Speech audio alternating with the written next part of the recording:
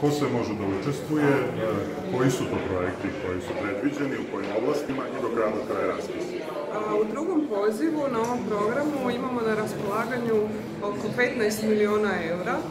U prvom pozivu smo također e, ugovorili projekata 23 u iznosu od 15 milijuna eura. Ovo je znači nastavak naše dugogodišnje uspješne suradnje. Republika Hrvatska i Republika Srbija su u prošloj programskoj perspektivi 2007. i 2013.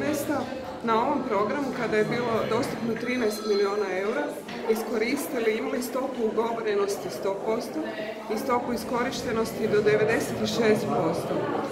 Na ovom programu ćemo sada u drugom pozivu znači iskoristiti ta sredstva koje su znatno veća za naše četiri prioriteta i to je zdravstvena zaštita i socijalna skrb, zatim energetska učinkovitost, obnovljivi izvori energije, zatim turizam i kultura i regionalna ova konkurentnost, poslovna i poslovno okruženje. Sve može da učestvuje i do kada? Ovako, ja bih zapravo rekla tko sve ne može sudjelovati. Znači, ne mogu sudjelovati trgovačka društva, i znači e, e, institucije koje ostvaruju profit. E, svi drugi zapravo su prihvatljivi korisnici. ovaj? Ovaj poziv će trajati ukupno 90 dana je raspisan. Do 30. mrte počeo? Da. 90 dana, 30. Da. Možete li da nam izvijete bar jedan dobar primjer iz prakse saradnje Srbije i Hrvatske iz prethodnih saziva i u kojoj po nizi projekata zapravo koji su vrlo, vrlo uspješno osmišljeni i smisao prekogranične suradnje je zapravo da može pomoći rješavati probleme u pograničnom području.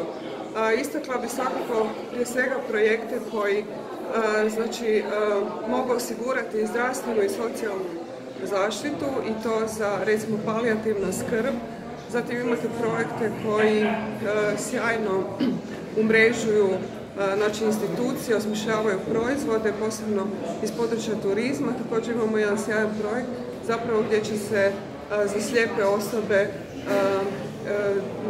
turističke karte napraviti i omogućiti i taj način da i te ciljane skupine mogu zapravo sudjelovati u društvu.